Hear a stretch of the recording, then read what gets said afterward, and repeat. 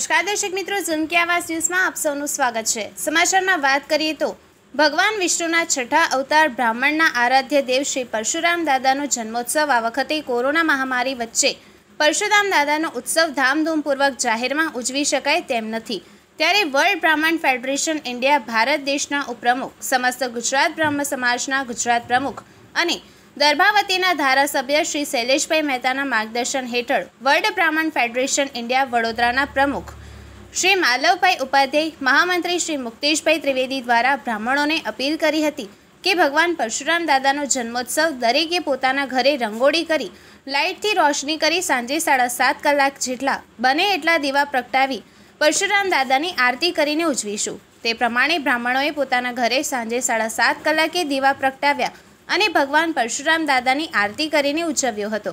સાથે સાથે વર્લ્ડ બ્રાહ્મણ ફેડરેશન ઇન્ડિયા દ્વારા દર્ભાવતીના ધારાસભ્ય વર્લ્ડ બ્રાહ્મણ ફેડરેશન ઇન્ડિયા, ભારત દેશના ઉપપ્રમુખ અને સમસ્ત ગુજરાત બ્રહ્મ સમાજ ગુજરાતના પ્રમુખ શ્રી શૈલેષભાઈ મહેતાના માર્ગદર્શન હેઠળ અંધશાળામાં આજે સવારે નાસ્તામાં બાળકો માટે દૂધ અને બિસ્કિટનું વિતરણ પણ કરવામાં આવ્યું હતું. જેમાં કોર્પોરેટર શ્રી મહાવીરભાઈ રાજપુરોહિત મહામંત્રી શ્રી મુક્તેશભાઈ ત્રિવેદી, મહિલા પ્રમુખ શ્રીમતી હિનાબેન ઉપાધ્યાય, મીડિયા પ્રભારી શ્રી કાર્તિકભાઈ ઓઝા, મહિલા મંત્રી શ્રી કૃપાબેન ઓઝા હાજર રહ્યા હતા.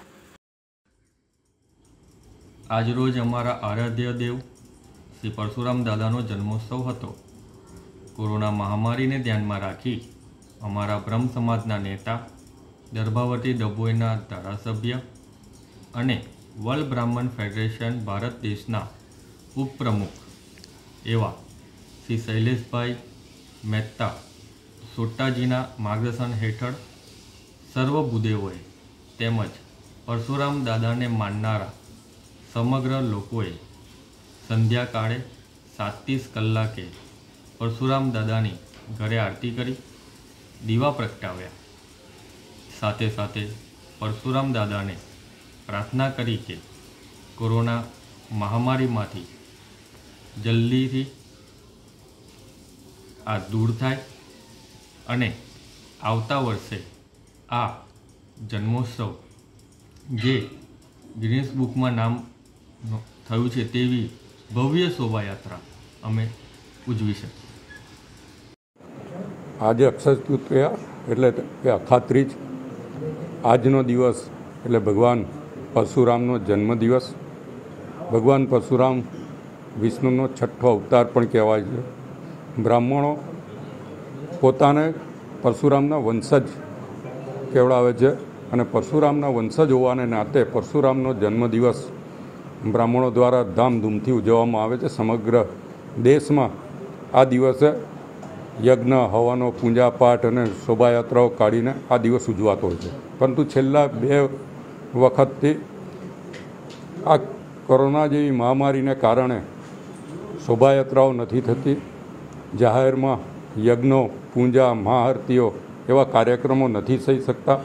એટલે બ્રહ્મ સમાજે નક્કી કર્યું કે આપણે આપણા આરાધ્ય દેવ, આપણે જેના વંશજ કહેવાય છે, એ પરશુરામજીને આપણે ઘેર જ પૂજા આરતી કરીએ, ઘરે દીવડા પ્રગટાવીએ અને આ જન્મોત્સવ ઉજવીએ. આજના દિવસે સવારમાં ડભોઈ ખાતે દર્દીઓને ફ્રૂટનું વિતરણ કરવામાં આવ્યું સેનિટાઈઝરનું વિતરણ કરવામાં આવ્યું. ત્યાં પણ આરતી અને પૂજા અર્ચનના કાર્યક્રમો થયા. અને માસ્ક જે બધે અત્યારની મહામારીમાં જરૂર પડે એ વસ્તુઓનું વિતરણ કરવામાં આવ્યું. બ્રાહ્મણ બહેનો દ્વારા વર્ચ્યુઅલ રેલીનું આયોજન કરવામાં આવ્યું, કારણ કે એકચ્યુઅલી રેલી શક્ય નહોતી બનતી. ત્યારે વર્ચ્યુઅલ રેલી બ્રહ્મશક્તિ જાગૃતિ મંચ દ્વારા યોજવામાં આવી. ને એમાં પણ મોટી સંખ્યામાં લોકોએ ભાગ લીધો છે, કારણ કે અત્યારે ઓનલાઈન લોકો વધારે હોય છે, ત્યારે એમાં પણ ભાગ લીધો છે. અને પરશુરામજીનો જન્મદિવસ પોતપોતાની રીતે ઉજવ્યો છે. આજે અમે પણ અમારા ઘરે ફરીવાર ગયા વખતે પણ ઉજવ્યો હતો. આજે પણ પૂજા અર્ચના કરીને, આરતી કરીને અને દીવા પ્રગટાવીને આ જન્મોત્સવની ઉજવણી કરી છે. ભગવાન પરશુરામ પાસે આપણે એટલું જ માંગીએ કે જેવી રીતે આપણે આપે એકવીસ એકવીસ વખત આ ધરતીને આસુરી શક્તિઓથી બચાવી હતી. આ મહામારી જેવી આસુરી શક્તિમાંથી પણ આપ જ બચાવી શકો એમ છો. ત્યારે આ મારી, મારીમાંથી દુનિયાને અને આ પૃથ્વીને આપ બચાવો અને આ મહામારીમાંથી પ્રજાજનોને મુક્ત કરાવો.